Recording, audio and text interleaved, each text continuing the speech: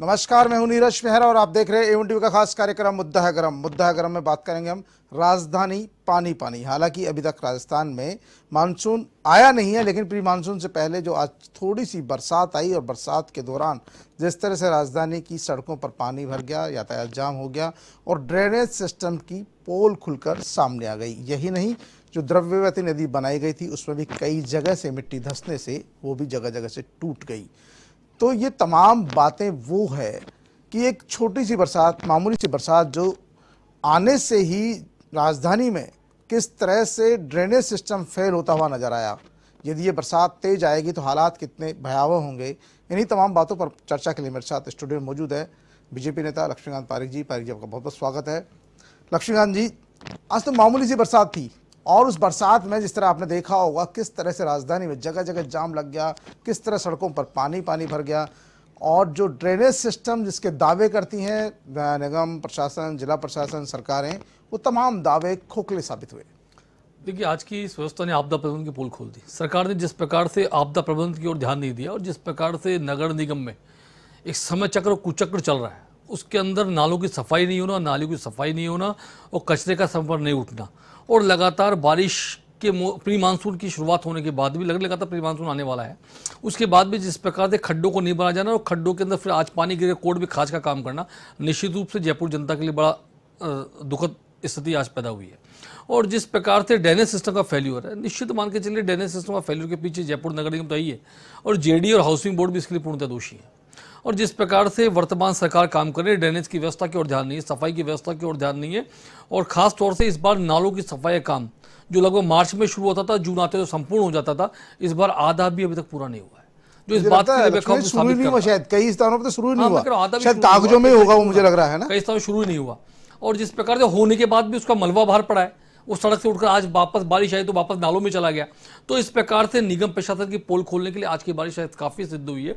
और मैं समझता हूँ कि निगम को इस बार ध्यान देना चाहिए। महापौर जी जिस प्रकार कामों में, विवादों में कूदे हुए हैं और जिस प्रकार जयपुर के मंत्री जी विवादों की बार बार बात करते हैं और जो वक्तव्य देते हैं, उनको जयपुर जनता के बीच जाना चाहिए। जयपुर की जनता के साथ जो जयपुर की जनता ने विधायक चुनकर भेजा है, उन विधायकों को नैतिक दायित्व तो बनता है कि जयपुर जनता के बीच जाएँ। जयपुर जनता का सड़कों के खड्डों से परेशान है, उछलते बंदों से परेशान है, नीचे नौसते कुत्तों से परेशान है तो आखिर जयपुर का निगम प्रशासन कहाँ सोया हुआ है? इस बात को साबित करता है कि निगम आँख मूंद कर बैठा है, विधायक अपने घर पर सोए पड़े हैं। लक्ष्मण जी, एक बात कही कि निगम बरसात से पहले नालों की सफ़ाई करता है। लेकिन इस बार देखने में आ रहा है कि कुछ स्थानों को छोड़कर जयपुर में अधिकांश जगह पर नालों की सफ़ाई हुई नहीं है। और ये आज से नहीं, कई सालों से होता रहा है। हालाँकि मार्च में काम शुरू होने चाहिए, जून तक पूरे हो जाने चाहिए, लेकिन आखिरकार ऐसा क्या कारण है? चाहे निगम में बोर्ड कोई भी रहा हो, महापौर कोई भी रहा हो, लेकिन नालों की सफ़ाई बरसात से पहले ही होती है। जो आपने बताया कि मलबा निकलता नहीं है और निकलता है तो फिर नालों के बाहर छोड़ दिया जाता है, बरसात आते फिर नालियों में चला जाता है और जब बरसात का पानी होता है, उसको बहने के लिए नाली में जगह नहीं मिलती, वो सड़कों पर बहता है और वहाँ नदियों का रूप ले लेता है। देखिए, बड़ी खामी एक टेंडर के सिस्टम में है। ट्रेंड का सिस्टम मार्च के अंदर शुरू होता है, लेकिन वर्कआउट देते जून आ जाता है। ये बड़ी हादसात्मक स्थिति नगर निगम जयपुर देखने को मिलती है। और जिस प्रकार का उनका जी शेड्यूल बनता है, उस शेड्यूल के अंदर खास तौर देखने में आता है कि एक कॉन्ट्रैक्टर को तो नाला सफ़ाई काम होता है, एक कॉन्ट्रैक्टर रिपेयरिंग का काम होता है, और तीसरा कॉन्ट्रैक्टर उसको मलबे को उठाने का काम करता है। तो जब तीन तीन एजेंसीज काम करते हैं, निश्चित मान के चले कि तीनों एजेंसीज के हाथ और पाँव सब बराबर नहीं होते। जिस एजेंसी को मलबा उठाना वो एजेंसी समय पर मलबा नहीं उठाती। जिस एजेंसी को समय पर नाला साफ़ करना एजेंसी समय पर नाला साफ़ नहीं करती। लेकिन जिस एजेंसी को समय पर नाले की मरम्मत करनी है, वह समय पर नाले की मरम्मत नहीं करती। इन सब कारणों की खामियाँ जयपुर नगर में देखने को मिलती है। बिल्कुल आपने सही कहा। कहीं ना कहीं जो व्यवस्था है, वो निगम में कॉन्ट्रैक्ट देने की हो निविदाएँ देने की हो, नाले सफ़ाई की हो, क्योंकि मैं कई सालों से देख रहा हूँ, और आप भी देख रहे हैं, हम सब तमाम लोग इस बात के साक्षी भी हैं कि जो सफ़ाई व्यवस्था समय पे की जानी है ड्रेनेज सिस्टम को सही किया जाना चाहिए, लेकिन आपने देखा कि जिस तरह से फेरो कवर लगाकर, नालियों को बिल्कुल कवर्ड कर दिया गया है तो बरसात का पानी आखिर जाए कहाँ? क्योंकि सबसे बड़ी समस्या है कि जिन जो नाले थे, जो आप देखते रहे उन नालों को सबको कवर्ड कर दिया गया पानी जाने की व्यवस्था, रस्ते हैं नहीं उसमें। और कभी अगर कचरा निकालने के नाम पे, मिट्टी निकालने के नाम पे, कीचड़ निकालने के नाम पे, वहाँ से अगर खुदाई करके हटा दिया जाता है तो मलबा बाहर होता है, फिर मलबा वापस अंदर हो जाता है। तो कहीं ना कहीं पूरे सिस्टम में खामी है और जब तक इसकी व्यवस्था एक स्थान से नहीं होगी। जैसे आपने बताया तीन तीन ठेकेदार काम करते हैं। उनमें तालमेल का अभाव होता है और तालमेल का जब अभाव होता है तो फिर इस तरह के नज़रिए देखने को मिलते हैं। देखिए, निश्चित रूप से मैं इस बात को कहूँगी लोभी और ढोंगे खेल चलता है। अधिकारी अपनी मनमानी करते हैं और नेताओं को बेखूब बनाने का शुरुआत वहीं से शायद शुरुआत की जाती है। कुछ दिखाया कुछ जा, और जाता है काम कुछ और होता है तो मेरा इसी तौर पर मानना है कि थ्री टायर सिस्टम व्यवस्था की जगह वन टायर सिस्टम व्यवस्था हो तो ज़्यादा ठीक सुंदर तरीके से काम हो सकता है। बिल्कुल लक्ष्मीकांत जी सही कह रहे हैं कि कहीं ना कहीं थ्री टायर व्यवस्था की जगह वन टायर व्यवस्था हो तो ज़्यादा अच्छा काम हो सकता है बेहतर काम हो सकता है और जो अफसर नेताओं को कहीं ना कहीं गुमराह करते हैं और उसका खामियाजा आम जनता को भुगतना पड़ता है वो नहीं भुगतना पड़ेगा। मुद्दाक्रम में चर्चा जारी रहेगी, लेकिन मिलते छोटे से ब्रेक के बाद।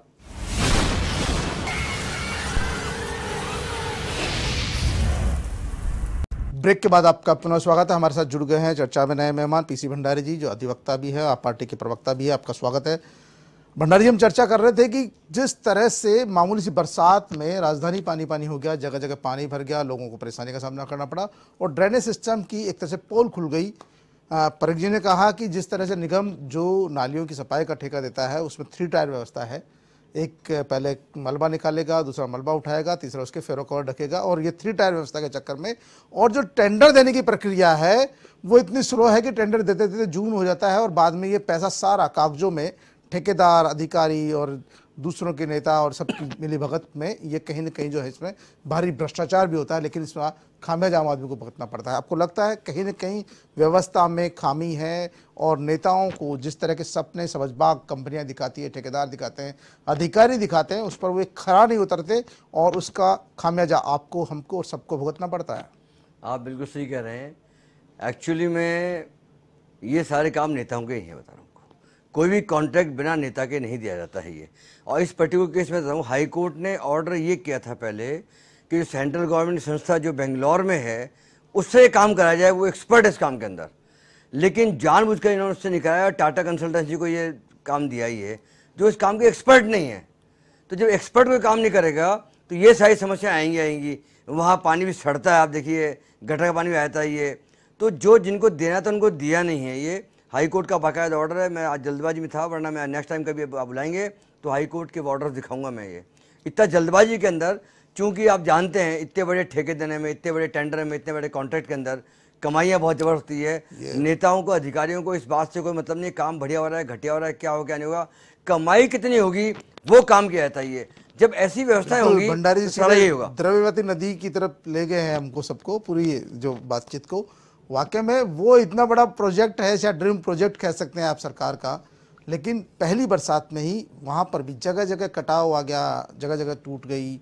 और जिस तरह का उम्मीद थी, क्योंकि इससे पहले भी जलधारा के नाम से एक प्रोजेक्ट शुरू किया गया था पूर्ववर्ती सरकार के दौरान, और वो प्रोजेक्ट पहली बरसात में तहस तहस हो गया तो उसके लिए करोड़ों रुपये खर्च हुआ था और आपको बता दूँ, आपको भी याद होगा, उस जलधारा को देखने के लिए टिकट रखा गया था और बाकायदा बाहर तक भीड़ को, उस भीड़ को कंट्रोल करने के लिए कई बार पुलिस को लाठीचार्ज तक करना पड़ा था।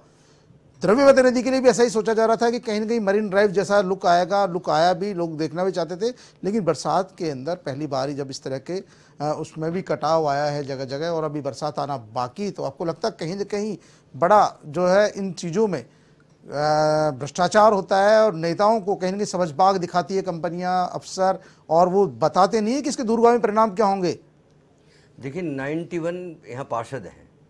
अगर सफ़ाई अगर नहीं हो रही नाले झाम हो रहे हैं तो ज़िम्मेदारी किनकी उन पार्षदों ज़िम्मेदारी है, जिनको जनता ने चुनकर भेजा है और जनता पर आर्थिक भार पड़ रहा है। फिर वो क्या कर रहे हैं? ये नगर निगम है, ये सब मिल करके नेता मिल करके सब मिल करके ये चाहे जयपुर साफ़ जयपुर साफ़ हो सकता है, नाले भी साफ़ हो सकते हैं। बाईस से पहले पूरी व्यवस्था होती थी, लेकिन हाल क्या हो रहा है, अगर कचरा निकाल दिया तो कोई उठाने वाला नहीं है। उठाने वाला तो वहाँ कचरा नहीं है। ये सारी व्यवस्थाएँ से बिगड़ती आ रही हैं, क्योंकि आजकल नेताओं का सबका एक काम हो गया है, पैसा कैसे कमाया जाए, बस ये है। देश के और प्रदेश के बारे में सोचना तो शायद सब लोगों ने बंद ही कर दिया है। कुछ जागरूक लोग हैं इसलिए देश चल रहा है, आप समझ, ये मान करके चलिए आप ये है। तो मैं ये कहना चाहता हूँ अगर वाकई ये लक्ष्मण जी बैठे हैं, अभी विपक्ष में हैं, पहले सत्ता में थे ये तो अगर आज इनके पास भी तिहत्तर एम ऐसी बात नहीं है, कमज़ोर स्थिति नहीं है तो अगर कहीं गलतियाँ हैं, कमजोरियाँ हैं तो उनके, उनको उजागर करना, उनके लिए लड़ना, उनके लिए आंदोलन करना, इनकी ज़िम्मेदारी भी होती है सबकी मिलकर के, कि सब मिलकर के इसको दूर करें। पर कौन सोचा मुझे बताइए? बारिश का पहले ही जबकि अब की बार तो भविष्यवाणी सही हुई है कि जैसे ही घोषणा की थी, उसके से बारिश भी आ गई है। तो जब ये मालूम था तो उसके साथ करना चाहिए था, लेकिन नगर निगम की आर्थिक हालत ज़बरदस्त खराब है, बता रहा हूँ को ये। उनके पास पैसा है नहीं। पैसा क्यों नहीं है कि जहाँ से पैसा आना है, वो काम करते नहीं है। कोई पार्षद ये नहीं करता कि प्रॉपर्टी टैक्स की वसूली करी जाए बड़े बड़े होटल बड़े बड़े संस्थान जो हैं, वो प्रॉपर्टी टैक्स दे ही नहीं रहे उसके अलावा जो इलीगल जो बिल्डिंग्स हैं, वो तो प्रॉपर्टी टैक्स और ये कोई देते ही नहीं है आकर के। तो जो उनसे प्रॉपर्टी टैक्स वसूल करो तो पैसा नगर निगम में आ भी जाए। लेकिन क्या हो रहा है, कोई इलीगल निर्माण कर रहा है, कोई प्रॉपर्टी टैक्स नहीं दे रहा तो उनको बचाने का काम पार्षद वगैरह सारे लोग कर रहे हैं जाकर के। उससे सारी स्थिति आ रही है। इलीगल हॉर्डिंग देखिए ज़बरदस्त लगे हुए हैं। कोई कमाने इतनी आमदनी नगर निगम की है लेकिन क्या हो रहा है? आज सीवरेज लाइन के पैसे पानी में जोड़ कर ले आ रहे हैं रोड लाइट का पैसा वो बिजली में जोड़ कर ले आ रहा है। जब आपको इतना पैसा आ रहा है सब कुछ है तो सफ़ाई क्यों नहीं कर रहे हैं? समझ नहीं आ रही है लक्ष्मीकांत जी बिल्कुल सीधा सा आरोप है कि कहीं कहीं नेताओं की मिली भगत भी सामने आती है, तो और। उसी के चलते नेता चाहें तो व्यवस्था दुरुस्त कर सकते हैं जो पैसा प्रॉपर्टी टैक्स का है, वो इकट्ठा नहीं हो पाता क्योंकि जब भी कार्रवाई करने अफसर जाते हैं तो पार्षद नेता विधायक। और यहाँ तक सांसद तक भी हस्तक्षेप करते हैं सीधा फ़ोन खड़खड़ाते हैं और अधिकारियों को बैकफुट पर आना पड़ता है। आपको लगता है वाकई में ये सिस्टम की बहुत बड़ी कमी है और इसमें सुधार की आवश्यकता है? लक्ष्मीकांत जी। नहीं मैं तो माना किराना पार्षद निश्चित रूप जयपुर सफ़ाई व्यवस्था की ज़िम्मेदारी पार्षद बनती है। पार्षद भारतीय जनता पार्टी हो कांग्रेस का हो या नहीं किसी दल का हो उसकी नैतिक ज़िम्मेदारी बनती है कि जयपुर शहर की सफ़ाई व्यवस्था पर पूरा ध्यान दें। लेकिन यह बड़ा प्रश्न उठता है कि जयपुर शहर की सफ़ाई व्यवस्था को दुरुस्त करने का काम पिछले पिछले एक मेरे के समय हुआ उसके पहले भी हुआ। लेकिन वर्तमान पिछले छः आठ महीने जिस प्रकार की बीबीजी कंपनी और अन्य कंपनियों को लेकर के जिस प्रकार का एक घोटाले का था दौर जयपुर नगर निगम चल रहा है वह सब इस बात को इंगित करता है कहने के कि सब कुछ नगर में ठीक नहीं चल रहा। मैं टाइम में जी मैं तो आपके टाइम में प्रॉपर्टी टैक्स वसूल हो गया था? मैं बंडा जी आ रहा हूँ आपके विषय पर मैंने अभी सफ़ाई व्यवस्था बात की शायद आपका आपके पार्टी बाहर मतलब कांग्रेस। अरे बंडा जी सुन ले आप प्लीज़ आप सुन ले मैं कांग्रेस छह महीने हो गया मतलब ये बंडा जी मैं आज आपको। मैं आज आप समझता हूँ कि आज एक आम नागरिक की हैसियत से। आप आम नागरिक की हैसियत शायद मुझसे सवाल करें ज़्यादा अच्छा लगेगा मुझे। और मैं आपकी बात जवाब नहीं, दूँगा। वही- उसी- हैसियत से आमंत्रित हैं तौर पर और उसी हैसियत से वरिष्ठ नागरिक के नाते हाँ, हमारी पार्टी का मैंने- मैंने पहले कहा कि निश्चित रूप से इकराना पार्षद है चाहे भारतीय जनता पार्टी हो कांग्रेस का और निर्दलीय हो। उन सबकी नैतिक ज़िम्मेदारी बनती है कि उनका पहला काम है तो जयपुर की संपूर्ण सफ़ाई व्यवस्था को दुरुस्ती करना है। लेकिन सिस्टम के फेलियर को तो बताना पड़ेगा। कि यदि जयपुर, यदि छत्तीस नंबर पर आता है, सफ़ाई व्यवस्था मुकम्मल होती है घर घर के बाहर कचरा रखा, कचरा कचरे का डस्टबिन रखा जाता है, एक मेयर के आह्वान पर रखा जाता है, और सुदृढ़ीकरण होने का काम होता है तो निश्चित रूप से उस मेयर को कम से कम हम साधुवाद तो देंगे। मेरा सीधे तौर पर मानना है कि बीबीजी कंपनी का एक, जो दौर जिस समय चल रहा है, आज भी मैंने एक बार पढ़ा है कि बीबीजी कंपनी कचरा नहीं उठाएगी, हम उसके पैसे काट लेंगे, गीला कचरा लगेगा तो कचरा लगेगा अब जयपुर मेयर किस दिशा में जा रहे हैं, कौन नहीं चला रहा है, जयपुर के मेयर जाने। लेकिन जयपुर नगर निगम की जो व्यवस्था है हो सकता है निश्चित रूप से घोड़े उसके पास होते हैं, लेकिन हाँकने का काम कि करता है तो जयपुर का मेयर करता है। उसकी नीति नीति का निर्धारण कोई करता है, जयपुर नगर का मेयर और कमिश्नर बैठकर करता है कहने का यूडीएच मंत्री का उससे ज़्यादा दखल होता है। तो जिस प्रकार का सीधे तौर पर यहाँ पर देखने को मिल रहा है कि जयपुर शहर की आप भंडारी जी आप देखें, जयपुर शहर में, मैं वाल सिटी में रहता हूँ, एक व्यवस्था चली थी जयपुर निगम के बहुत सारे एम ने अपने, ये हुपर्स वहाँ पर दिए थे। अपने फंड से। अपने फंड से दिए थे। वे सब ऊपर आज बंद हो गए। आखिर क्यों? ऐसा सिस्टम में छह महीने में क्या फेलियर हो गया कि लोग जो ऊपर आवाज़ लगाते थे माइक चलता था कचरा डालिए कचरे का संग्रहण होता था वे बंद हो गए। एक बड़ा प्रश्न खड़ा होता है कि जयपुर की वाल सिटी के अंदर एक करोड़ रुपए से अधिक के ऊपर एमएलए दिए थे क्योंकि चूँकि आप निश्चित रूप से जयपुर की आर्थिक स्थिति खराब थी इसलिए दिए थे लेकिन ऊपर को आज बंद कर दिया। नहीं तो आपके एमएलए क्या कर रहे हैं सर? जो एमएलए हैं वो सॉरी एमएलए और सॉरी ये आपके पार्षद जो हैं फिर वो क्या कर रहे हैं? ये मतलब आप- मेयर चाहे तो नहीं होगा। देखिए आप कहीं लगता समिति में बड़ा बदलाव। तो आपको लगता है और जिस लक्ष्मण जी आपको लगता है सरकार बदलने से सारा सिस्टम बदल गया? देखिए निश्चित रूप से। उससे पहले कहीं सिस्टम की एक व्यवस्था होती है। आप माने नहीं माने भंडारी जी अशोक लाहौटी ने एक नई दिशा में जयपुर को ले जाने का प्रयास किया था। जयपुर शहर के हर घर के बाद हर दुकान के बाद डस्टबिन लगाने का काम उसने किया था। उन्होंने जयपुर शहर के अंदर एक, एक, सफ़ाई को लेकर तो अवेयरनेस पैदा करने का तो काम किया था। तो निश्चित रूप से एक बड़ी व्यवस्था थी। आज आज जी मैं कह रहा हूँ फिर पार्षद क्या कर रहे हैं? देखिए, अगर डस्टबिन नहीं तो क्या कर रहे हैं वो? उनकी ड्यूटी है? तो। भंडारी जी सबसे बड़ी बात यह है तीन चीज़ें। सबसे बड़ी बात यह है कि अशोक लाहौटी ने वाकई में जो प्रयास किया सराहनीय है और उसके चलते व्यवस्था सुधरी भी। उन्होंने डस्टबिन हटवाए रखवाए कचरा भी कचरा भी उठने लगा पिछले छह महीने में और विधायकों ने जिस महीने काम किया है विधायकों को तो सफ़ाई में रुचि नहीं है। ऐसा लक्ष्मण जी ऐसा क्या हो गया? ऐसा क्या हो गया कि वो डस्टबिन वापस उठ गए? ऐसा क्या हो गया कचरा संग्रहण बंद हो गया? क्या कमीशन बाजी का खेल तो नहीं है? कोई कमीशन बाजी का खेल तो नहीं है जयपुर नगर में एक्ट को हैं? मुझसे ज़्यादा अच्छे जानते हैं। जयपुर नगर का एक्ट पार्षदों कितनी उनके पास शक्तियाँ हैं कितने उनके अधिकार है सबको अच्छी तरह आपको पता है भंडारी जी। मुझे मुझे शायद समझाने की शायद आपको आवश्यकता आप नहीं है पार्षदों- नहीं, नहीं, पर कितने पार्षदों की रिकमेंडेशन से सफ़ाई नहीं, नहीं पार्षदों कितने पावर थे नहीं है। ये आप तय कर लें। जयपुर नगर की शक्तियाँ यदि किसी में नहीं थे तो सीधी तौर पर मेयर में नहीं थे जयपुर नगर की शक्तियाँ किसी में नहीं थे तो तौर पर कमिश्नर में नहीं थे जयपुर नगर शक्तियाँ किसी में नहीं थे तो कार्यकर्ता समिति में समिति में शायद नहीं थे तो मेरा मानना है कि तीनों शक्तियाँ यदि किसी के पास आज सीधे तौर पर सीधे तौर पर किसी के हाथ में तो शांति धारीवाल जी नहीं नहीं पार्षद की बात शांति धारीवाल जी में पार्षद के पास में तो- उनका उनकी मॉनिटरिंग करना है। लक्ष्मण जी, आप उनकी मॉनिटरिंग करना है। शांति धारीवाल इसके लिए दोषी है। एक लक्ष्मण जी आपको लगता है सीधे से लक्ष्मण शांति धारीवाल दोषी है या महापौर की दोषी है लिए? आप पिछले छह महीने में चले जाइए। एक भी बोर्ड की मीटिंग नहीं होना इस बात को साबित करता है। मेयर जयपुर के प्रति कितने सावचेत है कितने उनकी चिंता है। मतलब वो मेयर ज़ाहिर करता है मेयर। लक्ष्मण जी मेयर ज़ाहिर करता है तो सही थे। मतलब वही लाठा जी और वही पार्षद जब आपकी पार्टी सही थे और कांग्रेस एक पार्षद एक पार्षद के दल में नहीं, वो- वो आगे तो खराब है। बिल्कुल निश्चित रूप से। बात कर रहे हैं पार्षद में भूमिका तो बदलती है? महापौर में उनकी भूमिका बदलती है। पार्षद का दायित्व अलग होता है महापौर का दायित्व अलग होता है। आपकी पार्टी में महापौर का अधिकार अलग होता है। कहीं- पार्षद दायित्व अलग होता है। कहीं- पार्टी बात नहीं कर रहा। बात नहीं कर रहे हैं। पार्टी बात नहीं कर रहा। देखिए, देखिए कुर्सी बदली है उनकी। कहीं ना कहीं सरकार बदली है उनकी। उनकी पार्टी बदल गई। हालाँकि पार्टी तो जिस पार्टी पार्टी हैं, कुर्सी बदल गई। कुर्सी बदल गई से बदल कर मेयर पद पर चले और गए। ये हुआ, उनके अधिकार बदल बदल गई, गए उनके कर्तव्य बदल गए। बदल गई। हो। गए। सत्ता में आ गए कल- उन्होंने अपने पद का दुरुपयोग शुरू कल किया। उनका धर्म परिवर्तन हो गया और अगर भाजपा आ गए मान लीजिए तो सही हो जाएँगे वो। देखिए वही मेयर रहेंगे देखिए जो गलती तो कहीं कहीं देखिए सबसे मैं आप दोनों भी को- शामिल बात कर रहे। आप? गलतियाँ करे भाजपा के सबसे बड़ा सवाल यह है लक्ष्मीकांत जी कहीं ना कहीं इच्छा शक्ति की कमी है महापौर में सीओ में, निगम वही है, बोर्ड वही है, अधिकारी वही है, और जो सिस्टम चल रहा था, जिसको लग, देख के लग रहा था कि वास्तव में जयपुर की व्यवस्था पटरी पर आई है, पिछले छः महीने में वो बेपटरी हो गई है। सड़कों पर जो जिस तरह का सौंदर्यकरण के लिए जो पेड़ पौधे लगाए गए थे, वो सारे खत्म हो चुके हैं। जो ड्रेनेज सिस्टम की बात की जा रही थी ड्रेनेज सिस्टम बहुत अच्छा है, आज उसकी पॉल खुली है।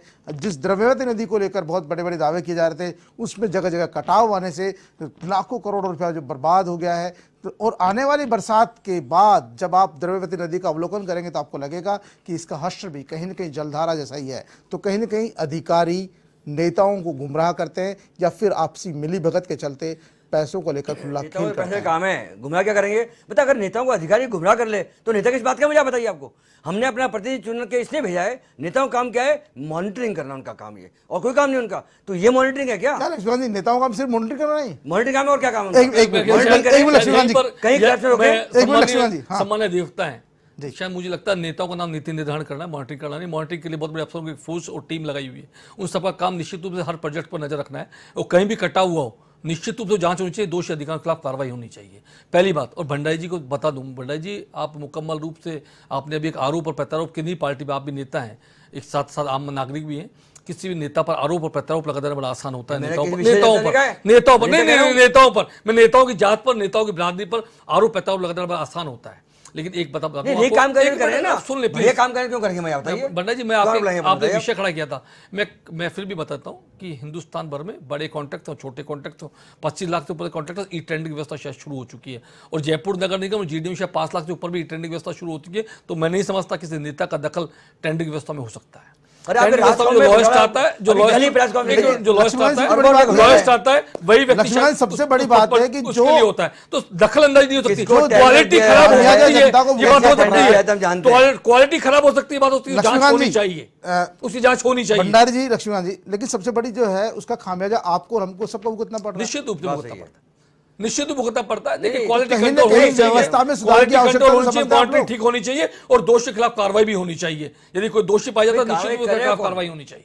भंडारी जी भंडारी जी आपको लगता है वाक्य में व्यवस्था में थोड़ी परिवर्तन की आवश्यकता है सुधार की गुंजाइश है? क्योंकि जब तक व्यवस्था में सुधार नहीं होगी गुंजाइश नहीं होगी क्योंकि अब तो देखो सारा काम जो है साफ़ सुथरा है अ, सब कुछ सीधा सीधा दिख रहा है। कहाँ क्या हो रहा है? आपने अभी थोड़ी देर पहले हमारी चर्चा हुई थी कि जो नालियों का कचरा बरसात से पहले उठ जाना चाहिए बरसात के आने के बाद तक उठने का सिलसिला जारी रहता है। उनसे और करोड़ों रुपया को उनको टेंडर दिया जाता है। आखिरकार फिर टेंडर देने के फ़ायदे क्या? जब वो कचरा नहीं उठे निस्तारण नहीं हो फिर पैसे का भुगतान क्यों? तो इस व्यवस्था में सुधार की आवश्यकता है या नहीं है? सुधार की तो पूरी आवश्यकता मैं वही तो कह रहा हूँ पारदर्शिता नहीं है। जिन पार्षदों को क्या ड्यूटी वो अपनी ड्यूटी निभा नहीं रहे हैं। पार्षद क्या करेगा मुझे थोड़ी देर के लिए बताइए। पार्षद जब की कोई सुन नहीं रहा अपने कोई पूछ नहीं रहा। वो अपनी मर्ज़ी से सफ़ाई कर्मी तो लगवा नहीं सकता अपने वार्ड अपने में। वार्ड में नहीं है तो वो जाकर के आंदोलन भी कर सकता है कार्रवाई कर सकता है लेटर दे सकता है प्रस्ताव पेश कर सकता है। वो क्या कर रहे हैं मुझे बताइए? लक्ष्मण जी क्या? आपको लगता है पार्षद के पास इतने पावर्स है कि वो अपने इलाके में सफ़ाई कर्मी लाइट बिजली की व्यवस्था करवा सकता है क्योंकि बहुत सारे पार्षद तो इस बात की शिकायत करते रहते हैं तो कि उनकी कोई सुनता नहीं है। नहीं तो फिर पार्षद का हटा दो फिर इतना पैसा खर्चा हटाओ ज़रूरत नहीं है तो उनको। पार्षद ही काम लक्ष्मीकांत जी का बहुत जुड़ाव रहता है निगम के बहुत सारे लोगों से ही संपर्क है। मैं मेरे ख्याल से मेरे से ज़्यादा ज्ञानी और अनुभवी ही अधिवक्ता- काम कराएगा एक मिनट, ना वरना एक पार्षद एक ज़िम्मेदारी मिनट। क्या है। लगता वाकई में अधिकार एक्ट इतने हैं? जो- नगर निगम एक्ट कहता है कि पार्षद को चुनने वाले पार्षद को अपने प्रस्ताव को प्रस्तुत करने का अधिकार है। मैं वही कह रहा हूँ प्रस्ताव प्रस्तुत करने का अधिकार है साधारण सभा में। जब धीरज जी साधारण सभा में बैठक नहीं होगी तो साधारण सभा बैठक नहीं होने पर पार्षद आखिर जाए तो जाए कहाँ?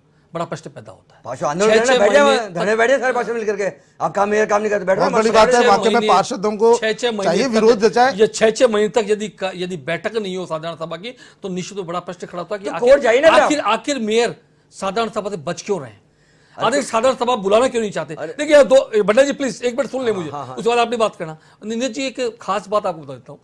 जयपुर नगर निगम का वर्तमान महापौर बनने के पश्चात जिसके पास कमिश्नर और मेयर का टकराव की घटनाएँ आम बनी है। उसे जयपुर नगर की कार्यशैली पर बड़ा प्रश्न खड़ा होता है। और जिस प्रकार का टकराव, आखिर क्यों टकराव बन रहा है, ये एक अपने आप में एक संदेह पैदा करता है कि किन कारणों से आपस में दोनों लोगों के बीच में टकराव पैदा होता है। चाहे एक्शन के ट्रांसफ़र का मुद्दा हो, कमिश्नर के उपायुक्त के ट्रांसफ़र का मुद्दा हो, या जेएंस के ट्रांसफ़र का मुद्दा हो, या आरोज के ट्रांसफ़र का मुद्दा हो तो आखिर बड़ी व्यवस्था जिन आरोज को रेवेन्यू कलेक्शन करना है उनके ट्रांसफ़र के मुद्दे को लेकर भी, भी पर भी अखबारों में बड़े प्रश्न खड़े हों और टकराव की स्थिति हो तो निश्चित रूप से बिल्कुल लक्ष्मीकांत जी आपने सही बताया कहीं ना कहीं यहाँ पर खेल दूसरा चल रहा है और इस खेल के चलते जो पार्षद अपनी बात को साधारण सभा की मीटिंग में रख सकते हैं प्रस्ताव के ज़रिए वो रख नहीं पा रहे क्योंकि छह महीने से मीटिंग नहीं हुई है महापौर मीटिंग क्यों नहीं करना चाहते इसका उत्तर तो वही देंगे लेकिन कहीं ना कहीं इस व्यवस्था के चलते इसका खामियाजा आम आदमी को भुगतना पड़ रहा है। आप दोनों चर्चा में शामिल हुए आप दोनों को बहुत बहुत धन्यवाद। तो ये थे हमारे मेहमान जिन्होंने बताया कि कहीं ना कहीं ड्रेनेज सिस्टम फेल होने का कारण नगर निगम की व्यवस्था है, प्रशासन की व्यवस्था है और कहीं ना कहीं जो सिस्टम है, उस सिस्टम में कमी है जिसके सिस्टम को सुधारने की आवश्यकता है। लेकिन जब टकराव हो, महापौर में, मुख्य कार्यकारी अधिकारी में टकराव हो, जब पार्षदों में, अधिकारियों में टकराव हो और जब प्रशासन में आपस में तालमेल नहीं हो तो इस तरह से जो काम भी किए जाते हैं, उसका फ़ायदा आम जनता को नहीं मिलता। और चाहे वो द्रव्यवती नदी का प्रोजेक्ट हो, चाहे ड्रेनेज सिस्टम हो, तमाम बातों से परेशान आम जनता को होना पड़ता है। मुद्दा अगर में आज के लिए इतना ही। ताज़ा तरीन खबरों के लिए देखते रहिए ए वन टीवी